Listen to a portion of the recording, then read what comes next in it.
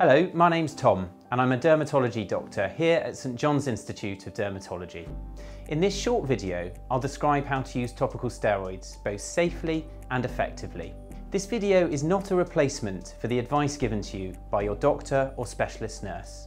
Therefore, if you are in doubt, please consult your specialist before using any of your prescribed treatments.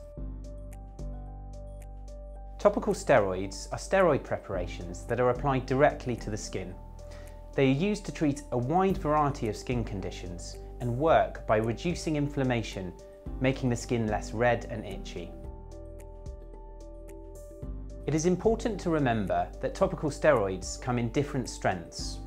Stronger steroids tend to be used on the body, whilst weaker steroids are used on the face and skin folds. They come as ointments or creams. Steroid ointments are oilier and are therefore better for treating drier skin. Before applying topical steroids, wash and dry your hands thoroughly. Apply a fingertip amount by squeezing the ointment in a line from the last crease of the finger to the tip. And this is the amount of steroid needed to treat the area of skin represented by two hands laid flat with the fingers together.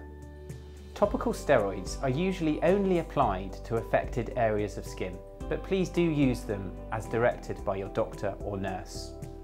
Avoid applying steroids with emollients as this will dilute their effectiveness. Always wash and dry your hands thoroughly after applying topical steroids.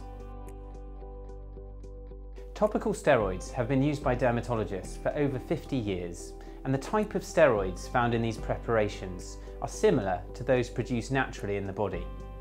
Some people worry about skin thinning as a side effect of topical steroids. But if you use them correctly and as advised by your doctor or specialist nurse, the risk of this is very low. We hope you found this video useful. For more information, please download our educational leaflet by following the link below. Thank you.